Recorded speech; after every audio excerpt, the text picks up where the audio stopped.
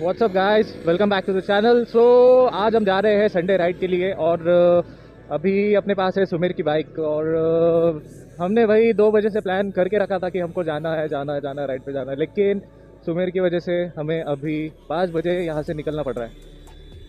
सो वही बहुत दिन में कुछ मोटो ब्लॉग करा नहीं है मैंने। सो आज सोचा कि एक मोटो ब्लॉग कर लेते हैं। तो भाई ये जी ट्वेंटी की वजह से जो हमारे सिटी में काम हो रहा है ना भाई तो वो एक नंबर हो रहा है। भाई, मोटो ब्लॉग लोगों को लगता है कि भाई बहुत ईजी है, बहुत ईजी है। भाई, कभी ट्राई करके देखो। तो ये रही अपनी लॉलीपॉप और ये नाजिम भाई और सुमेर भाई। और अपने लॉलीपॉप का टेल आईडी का वीडियो में मैंने लास्ट अपलोड किया था तो वो अगर किसी ने नहीं देखा तो उसकी लिंक मैं डिस्क्रिप्शन में दे दूँगा। और कमेंट करो कि अपने लॉलीपॉप अभी कैसी दिख रही है।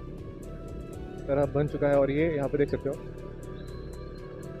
फुटपाथ के लिए गट्टू वगैरह बिठाने का काम भी शुरू हो गया है। और उसी के साथ में आप ये फ्लाईओवर के वॉल को भी देख सकते हो। और बहुत दिनों बाद अपने साथ अपना जादू जो है तो वो आ गया है। इतने दिनों से जादू ज़रा गायब हो गया था।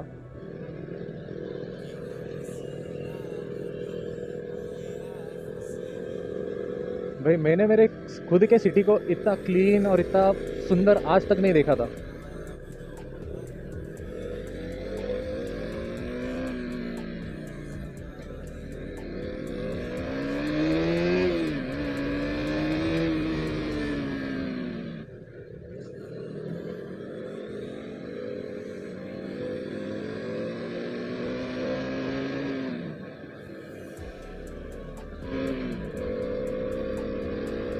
यहाँ पे अपनी रोड पे पाम ट्री जो है तो वो लगाए हुए हैं।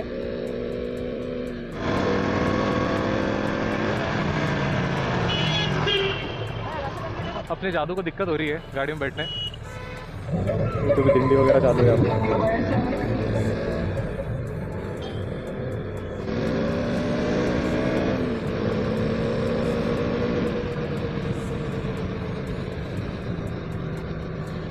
पिकअप के मामले में मेरे को मानना पड़ेगा के को। ये के नहीं है रॉकेट है। में हम कहाँ जा रहे हैं? अभी तो हम दौलताबाद के पास जाने का प्लान बना रहे हैं। स्क्रैप यार्ड चलते कि उसको उसके बाइक के जो पार्ट्स वगैरह है तो वो भी देखने थे। सो so, देखते हैं पहले कि हम स्क्रैप यार्ड जाएँगे कि दौलताबाद। तो गैस आने वाले दिनों में आपको ये के भी मॉडिफाइड देखने को मिलेगी क्योंकि हम वैसे भी सोच रहे थे कि अपनी के को मॉडिफाई कराएँ। सो so, देखते हैं अभी।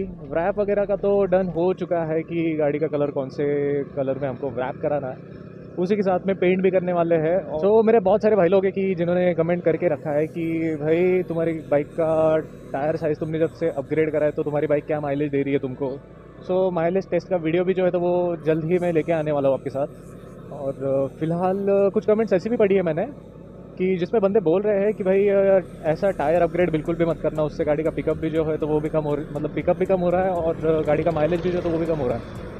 सो so, जब आप टायर अपग्रेड करते हो तो टायर अपग्रेड करने के बाद में आपको थोड़ा बहुत भी जो है तो वो माइलेज में ड्रॉप देखने मिलता ही है।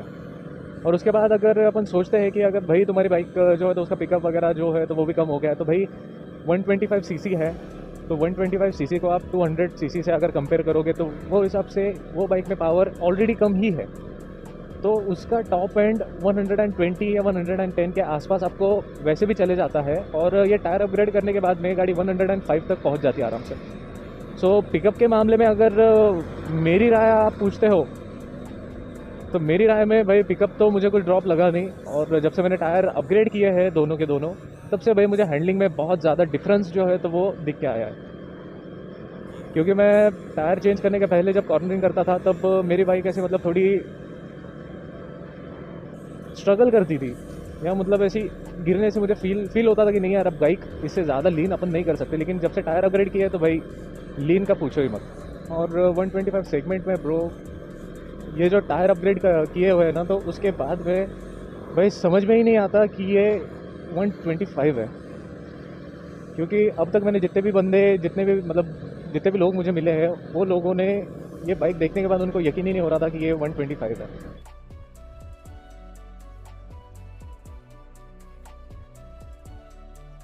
डेली ब्लॉग्स बनाना बोले तो वो एक बहुत बहुत बहुत ही बड़ा टास्क है मेरे लिए। क्योंकि भाई जॉब भी रहता है जॉब को भी जाना रहता है। जॉब को जाके वापस घर पे आके वीडियो बनाना वीडियो अपलोड करना। ऐसा नहीं है कि कैमरा उठा लिया वीडियो बना लिया अपलोड कर दिया। कोई वीडियो बनाने के लिए भी बहुत सारी चीज़ें चाहिए होती है। फ़र्स्ट ऑफ़ ऑल ऐसा आप, कोई सा भी वीडियो पकड़ के अगर लेके चल रहे हो तो वो होता ही नहीं है ना।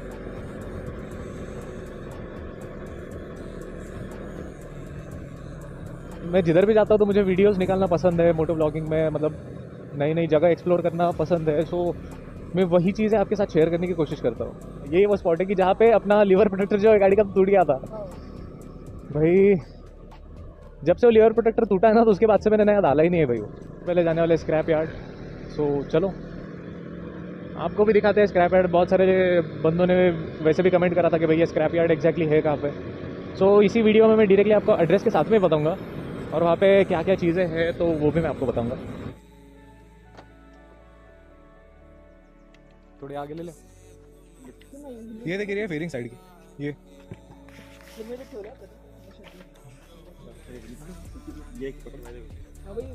अरे वो वेल्ड करते आता ना मालिक। अरे भाई, मज़ा नहीं मज़ा नहीं बोलते।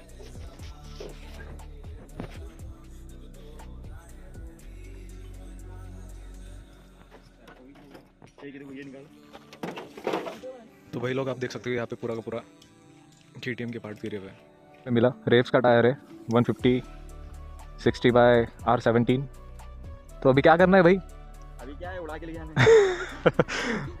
तो भाई अभी हम यहाँ से निकल गए। अभी हम जाएँगे कागजीपुरा वहाँ पे चाय वगैरह लेंगे। थोड़ा बहुत रुकेंगे क्योंकि हमारे बाकी के दोस्त वगैरह भी आने वाले हैं।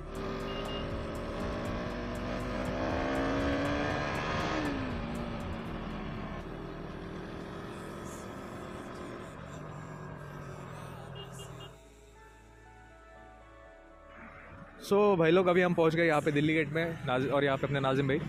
तो हाँ भाई दिखा दो। तो बॉस, ये वीडियो ज़्यादा लंबी ना हो, उसकी वजह से हम ये वाली वीडियो जो है तो वो यहीं पे एंड कर रहे हैं। तो उसी के साथ में मिलते हैं हम आपसे नेक्स्ट वीडियो में, तब तक के लिए peace out and goodbye right से